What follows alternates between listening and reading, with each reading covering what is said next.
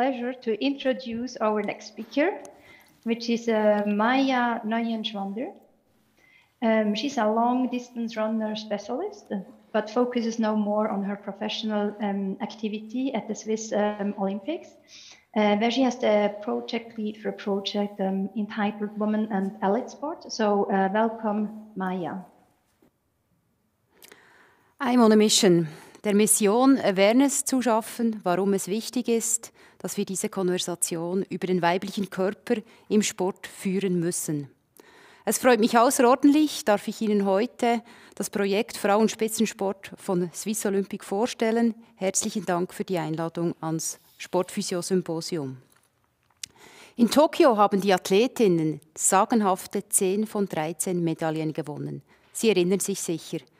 Da stellt sich ganz automatisch die Frage, braucht es ein Projekt Frau und Spitzensport?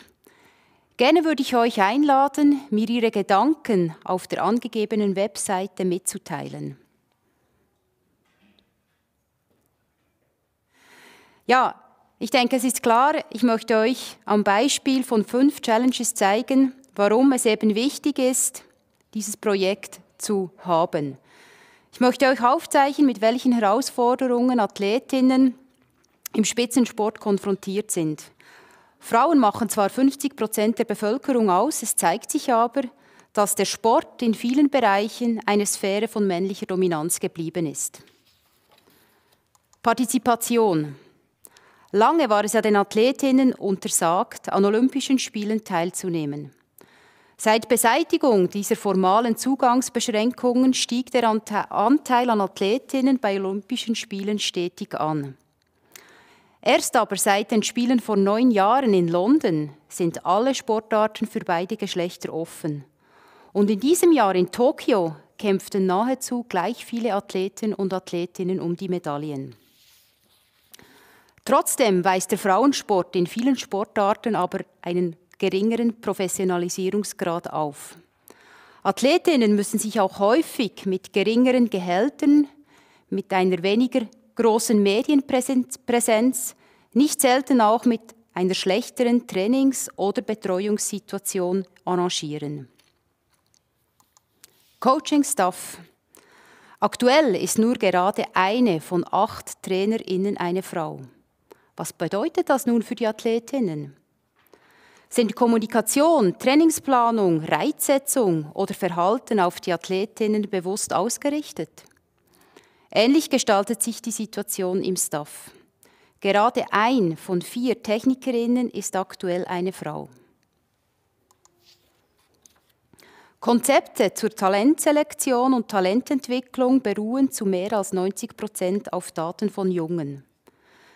Es stellt sich die Frage nach der Chancengleichheit in der Sportförderung.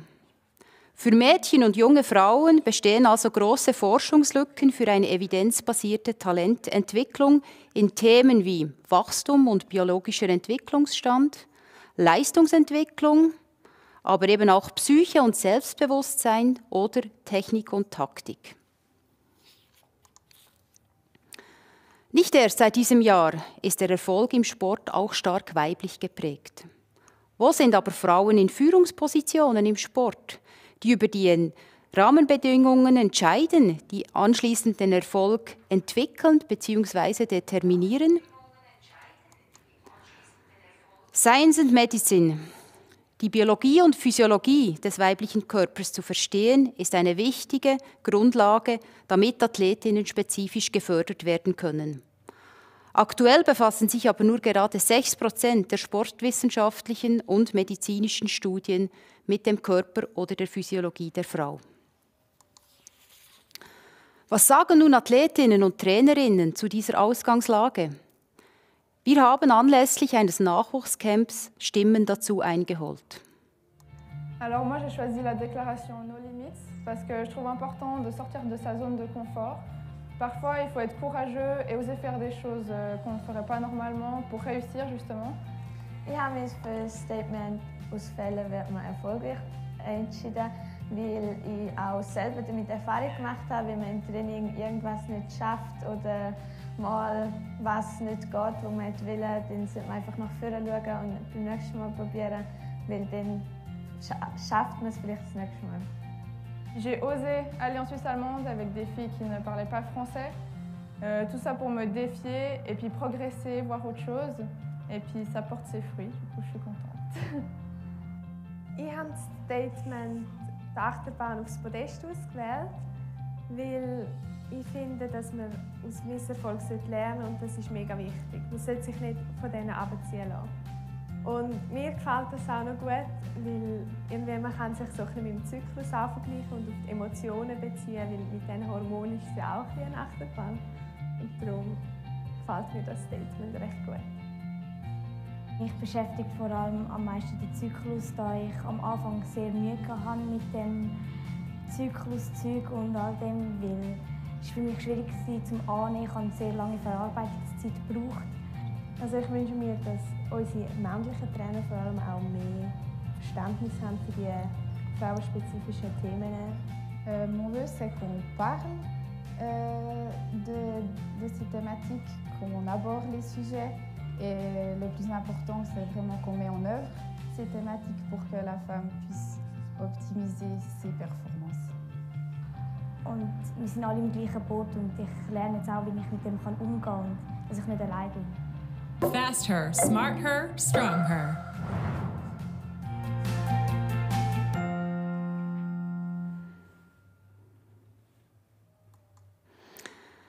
Ja, mit der Kampagne Fast Her, Smart Her, Strong Her rückt eben Swiss Olympic frauenspezifische Themen stärker ins Rampenlicht und stellt den Athletinnen, aber eben auch deren sportlichen Umfeld Erkenntnisse und Informationen zur Verfügung. Das Projekt richtet sich an fünf Fokusthemen aus. Dem Menstruationszyklus, der Schwangerschaft, dem relativen Energiedefizitsyndrom im Sport, dem Beckenboden und der Belastungsinkontinenz sowie dem Empowerment. Zu den fünf Fokusthemen werden verschiedene Maßnahmen umgesetzt. Alle Dokumente dazu sind auf der Landingpage swissolympic.ca/fs verfügbar. In der Podcast-Serie Smart Her, Women's Podcast, diskutieren ExpertInnen und Trainerinnen sowie Athletinnen über frauenspezifische Themen. Wir lassen Athletinnen zu Wort kommen, als Bildtestimonials, im Blog ungefiltert, in Videos oder dargestellt als Comic. Im letzten Jahr wurden Fachpersonen aus dem Umfeld der Athletinnen an der Fachtagung über die Themen Zyklus, Schwangerschaft und Retz informiert. Und in diesem Jahr führten wir anlässlich des Nachwuchscamps 3T die Nachwuchsathletinnen die Thematik ein. Diesen Herbst präsentierten wir die Ergebnisse der Elite-Athletinnen-Umfrage. Darüber berichteten wir auch im neuesten Sportphysio-Magazin. Die Strongher Statements fassen unsere wichtigsten Botschaften zusammen. Infografiken und Merkblätter veranschaulichen die zentralen Erkenntnisse und die Informationen zu den entsprechenden Fokusthemen. Das Netzwerk Sport und Gynäkologie unterstützt Athletinnen und Personen aus ihrem Umfeld bei individuellen sportmedizinischen oder gynäkologischen Fragestellungen. Nach dieser Werbeschlaufe zum Projekt Frauenspitzensport möchte ich nun zum Abschluss über das Hot Topic in dieser Thematik, dem zyklusgesteuerten Training, sprechen. Ich gebe im Folgenden eine Orientierungshilfe, was die Grundlagen sind, damit vielleicht einmal zyklusgesteuert trainiert werden kann.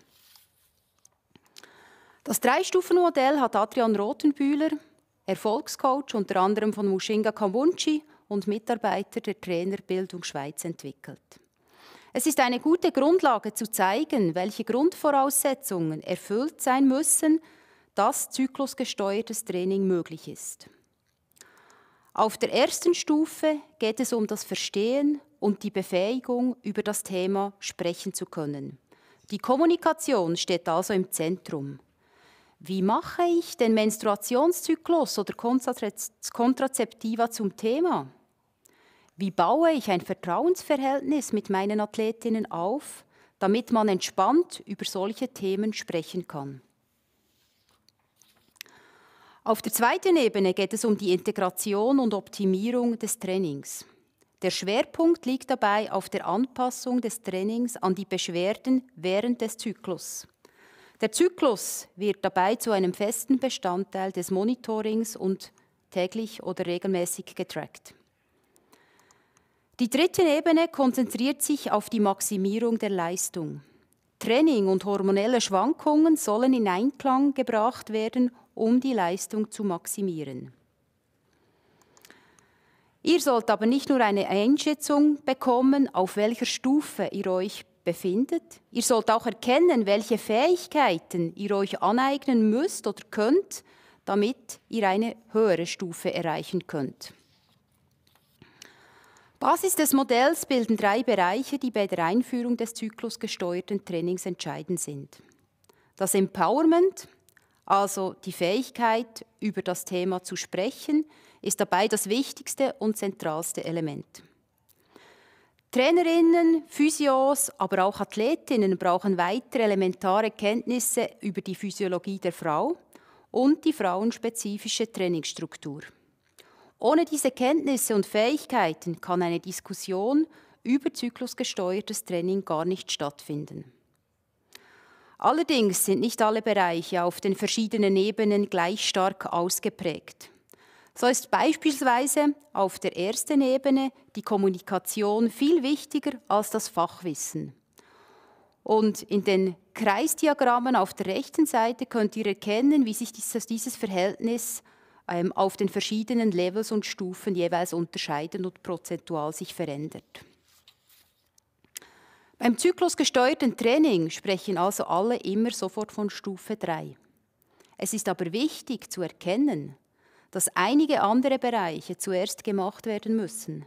Es braucht bestimmte Fähigkeiten und Kenntnisse, um ein Gespräch über dieses Thema überhaupt erst führen zu können. Mit diesem Modell könnt ihr euch ein Bild davon machen, wo ihr steht und was ihr auf dem Weg zum zyklusgesteuerten Training noch braucht. Und ich möchte ehrlich sein, wir sind alle froh, wenn möglichst viele in der Sportszene Schweiz irgendeinmal Stufe 2 erreichen. Herzlichen Dank. Vielen Dank.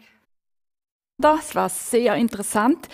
Ähm, ich habe gerade mal kurz an unsere Zuschauer und Zuschauerinnen eine Bitte. Wir haben beim Screen auf der rechten Seite ähm, so ein Fenster mit Fragen und Antworten. Da können Sie alle Fragen, die Sie brennend interessieren, an uns richten und wir werden die dann an unsere Speaker selber stellen. Also dürft wirklich fleißig mitschreiben, damit wir wirklich alle Fragen heute beantworten können. Ähm, dann noch ein anderes Anliegen. Maya hat ähm, in unserem diesjährigen Magazin eine mehrseitige Rubrik über das Thema zyklusgesteuertes Training geschrieben über das Projekt Frau im Spitzensport und zusammen mit Lucia Kalberer und es hat noch ganz, ganz viele andere sehr, sehr spannende Dinge. Da muss ich jetzt echt Werbung machen, aber es ist echt ein super Magazin geworden. Wir haben sehr gute Referenten gefunden oder Autoren gefunden, die uns äh, Rede und Antwort gestanden sind. Und wir laden euch sehr herzlich ein, unsere Webseite sportphysio.ch zu besuchen. Dort ist das Magazin online und alle Mitglieder haben es bereits im Briefkasten letzte Woche erhalten. Und ich möchte gerne gleich zum nächsten Thema kommen.